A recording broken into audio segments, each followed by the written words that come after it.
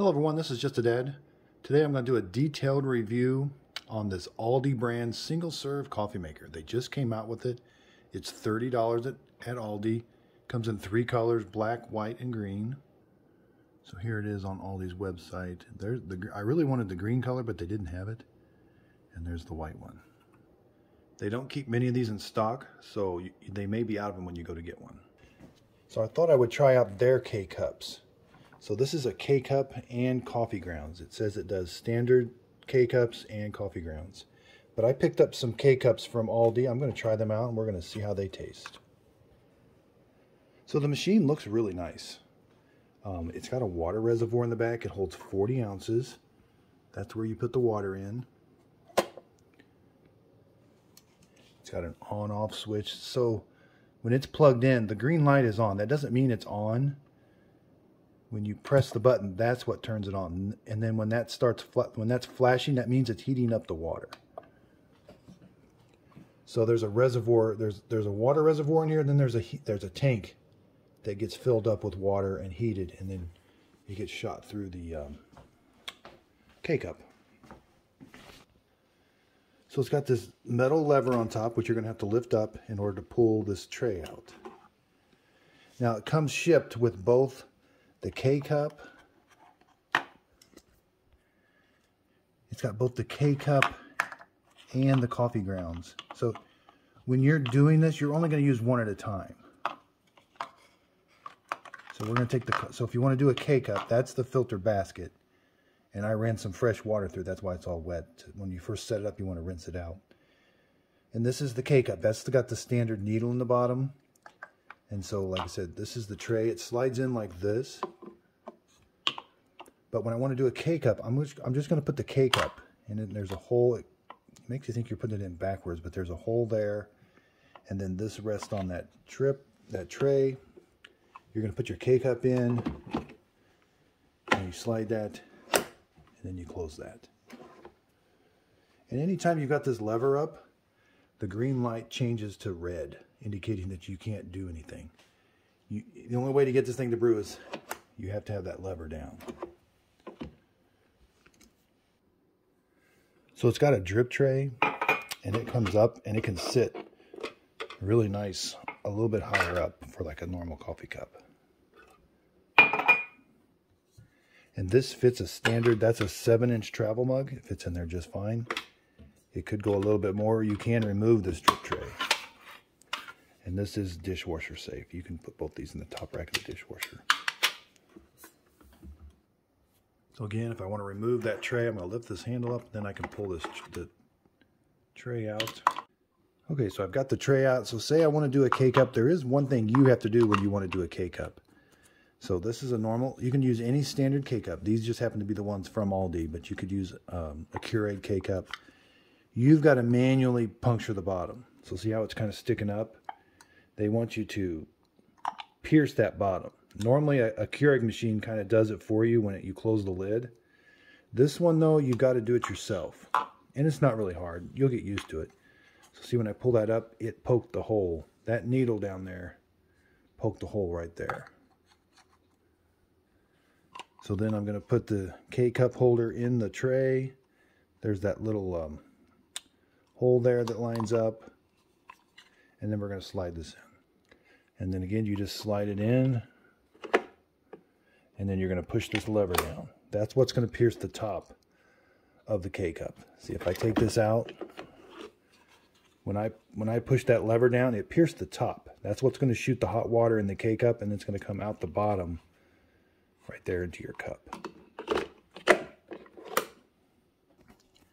So again, this thing only has two buttons for 15 ounce and 8 ounce again, that's on, and then you, you that's the power button. So you hit the power button, and now it lights up these blue lights. When this green light is flashing, that means it's heating up the water. It's not ready to brew. You can press these buttons, but it won't brew it until it's ready. So when that light is steady, that means the tank inside there is heated up the water. Now for a K-cup, I normally do 8 ounces. 15 ounce through a K-cup, it's just a little uh, weak or watered down for me, so I do 8 ounces. So again, the machine looks really nice. It's got a three foot cord, no cord storage, just a two prong outlet. Front to back's about nine inches. Side to side's about six. It's about 13 inches tall. And with the lid, it's about 17 and a quarter.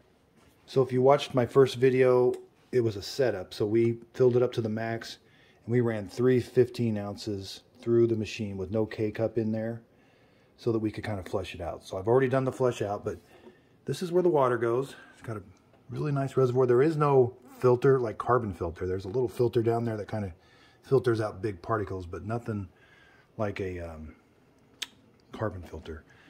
This reservoir is not removable. So you're going to have to have something to fill up this reservoir, like an old pot or something. Okay, so we're going to put water in it. Right now it's only at the 16 ounce mark. I'm going to fill it all the way up to the 40 ounce. Now you don't want to overfill this. It does have a little hole that it will overflow in the back. So overall the machine looks really nice. Doesn't take up a big footprint. Like I said, the green one I think would have been a little nicer looking, but all they had was black. So just to show you one last time how you put the K-cup in, you lift that handle up. There's where the K-cup goes. You're going to press it down, pierce the bottom of it, make sure it's nice and flush, otherwise it won't fit in there. Then you're going to slide this in till it clicks, push the handle down. It's already on, but if it wasn't on, you'd hit the power button. And then we're just going to hit the 8 ounce button. And then there's kind of a pump. So that light's flashing and you can hear a pump. Okay, so it's starting to brew. It started to brew right away. It takes about three or four minutes for it to heat, get up to temperature, but once it's up to temperature, it starts brewing right away. Now it does splash a little bit. It's probably a good idea to have the drip tray up one so it's not splashing all over.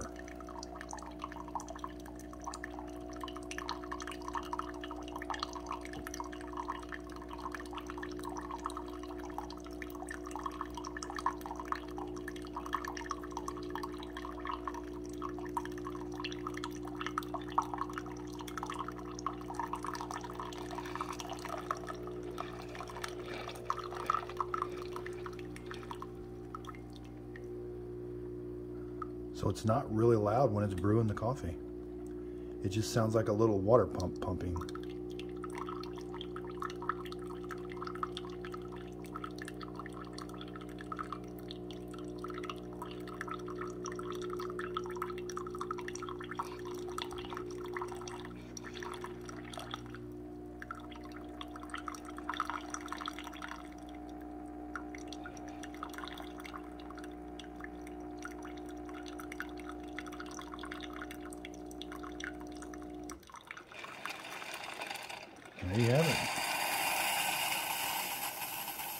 So that took about a minute and a half to brew that eight ounces of coffee. You're not going to want to touch any of this or lift this lever. Just let it do its thing. Now see the lights are on steady. Now I can remove it. And again, there's the coffee. We're going to check the temperature. That's pretty standard. That's about 160. That's a really hot cup of coffee.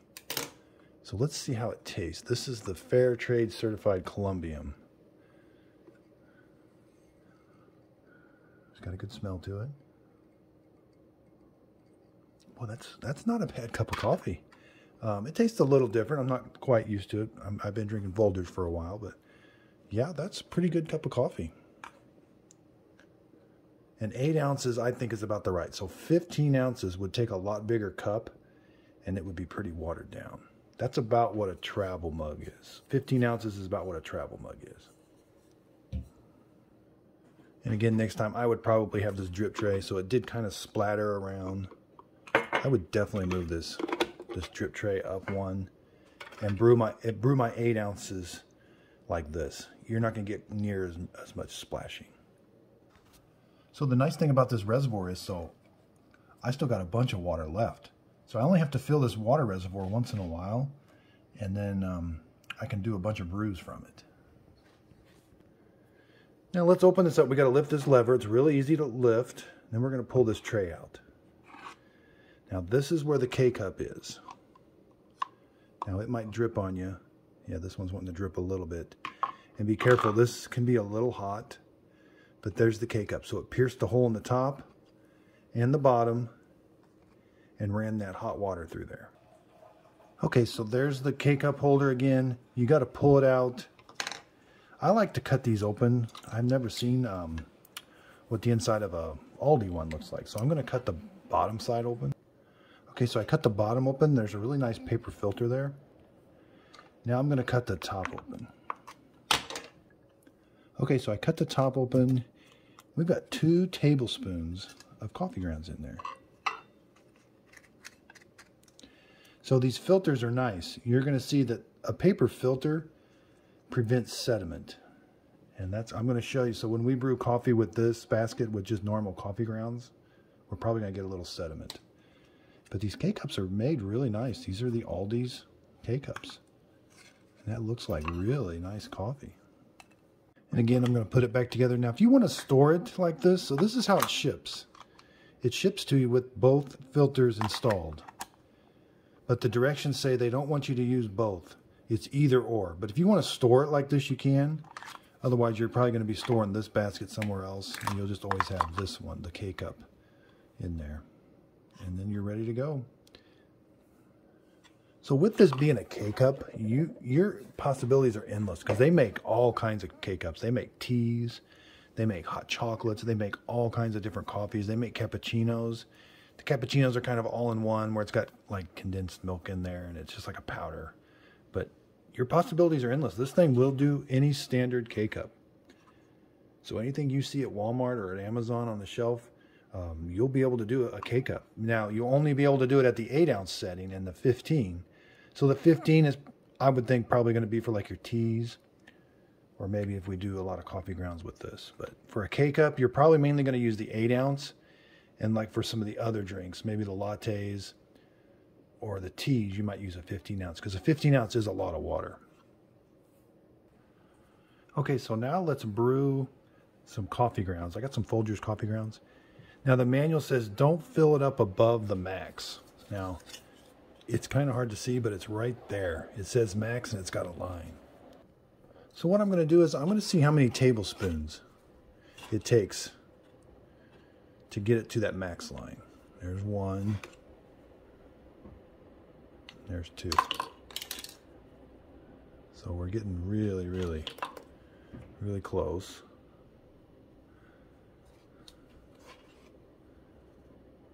Let's do about a half. Yeah. So two and a half tablespoons. So to me, I've done the math. That's about an eight ounce serving of coffee. So because normal, when you look at the directions on the side here, it says one um, one tablespoon per serving, which is six fluid ounces. So we can get two and a half. You know, you might be able to get away with the 15 ounce. To me, I think it's going to taste pretty weak. I'll try it. The 8 ounce is probably going to taste a little better. But it's whatever flavor you, I mean, it's whatever you like. You can brew it either at the 8 or the 15. It's just, this machine only gives you two options. Keurigs are pretty good. They give you about three or four options sometimes for different brew sizes. So I got my coffee grounds in there. Now we got to take the K-cup holder out. And then this is going to go just like that. You can see it kind of fits in there like it's supposed to go. Then we're going to slide it in. So then we're going to push this lever down. So I've got my coffee mug under, the light's flashing. That means it's heating the water up. So I'm going to press this 8 ounce. And now it has stopped flashing. So you got to wait for it to stop flashing. Now I can press the 8 ounce. And again, it just kind of sounds like a pump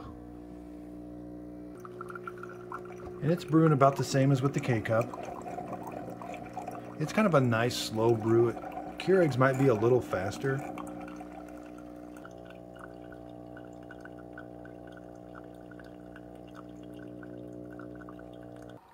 Okay, so after about a minute and a half, it finishes up the brewing. Let's check the temperature. About the same, about 160. That's pretty hot. Now, something I'm noticing already I'm noticing the sediment already. On the side of the cup. Now, I don't know if sediment is good or bad for you, but I know um, when you use a filter, a paper filter, like when you use a regular coffee maker with paper filter, you don't get sediment. And with K-cups, you don't get sediment because a K-cup has a small paper filter in there too. But I'm going to let this sit. I've tasted it. It tastes really good. It actually tastes a little richer. And I think that might be from the sediment. But uh, I'm going to let this sit, and then we'll show you how the sediment is. But while we're letting this sit, so we want to remove this tray. Let's lift up the handle, and then we just simply pull this out. So there's it, it did a pretty good job with the coffee grounds. I don't see they're not kind of I was expecting maybe they'd be all over. It did pretty good. So I'm going to take this filter basket out. Now I can recycle these coffee grounds or throw them away. But I will have a little bit more cleanup work when I use this reusable filter. But yeah, it looked like it did a pretty good job. I don't see, I just see a few coffee grounds kind of up here. So maybe when it was splashing the water, it got up there a little bit maybe. But no, did a really good job. Okay, so this cleaned up really well. And now we can just put it back in there. If we're going to do coffee grounds again. Now, I looked online. I don't see a paper filter for this. This is kind of an oddball basket. I'm going to do another video where I do have, I'm going to use a reusable K-Cup. I've got this reusable K-Cup and they make paper filters for these reusable K-Cups. So I'm going to do another video and then we would just use this in the K-Cup holder. Okay, so I just want to show you, this was the first one, the K-Cup. Yeah, we don't get hardly any sediment at all in there. Now I want to show you the second one. This is with the filter basket.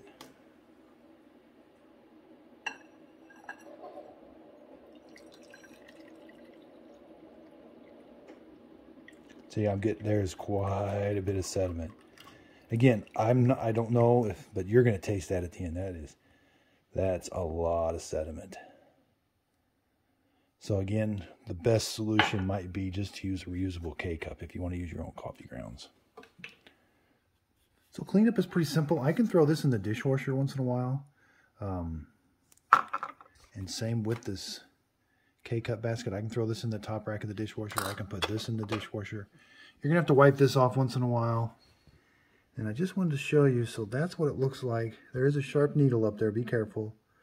That's what pierces the top when you move the lever. When I move that lever up and down, it's moving that needle up and down. So one thing you may want to check, so say I've been using this for a little bit, say I want to do a 15 ounce.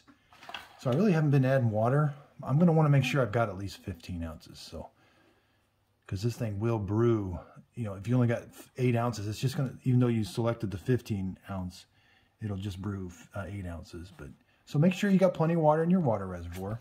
We're going to do a 15 ounce now. So we're going to do another K cup.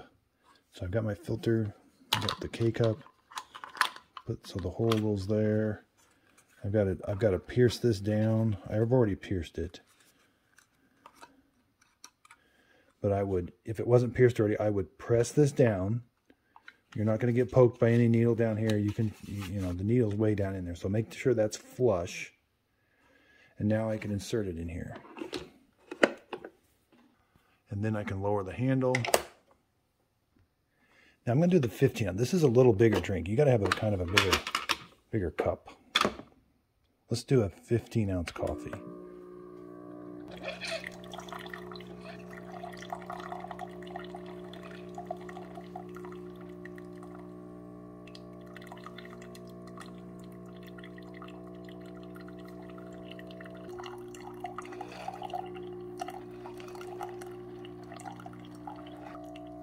So it kind of pauses. So sometimes, like it's it brews for a while, you get a nice steady trickle. Then it kind of makes you think it's stopped, like the water stops coming out, but then it starts up again. So that seems to be normal.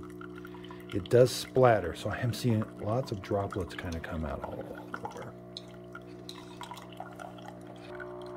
So this is about the loudest I've heard it. That pump, that pump does get sort of loud in the middle of it. And it kind of quiets down a little bit, and then it kind of gets loud. So I think the reason it kind of stops, it has to heat the water before it can. It must not have a very big tank in there because it stops sometimes, and then it starts flowing again. So it probably has to heat that water up in the inside before it lets it come through the K cup. Now I can tell this is a pretty weak coffee because it's pretty clear coming out right now.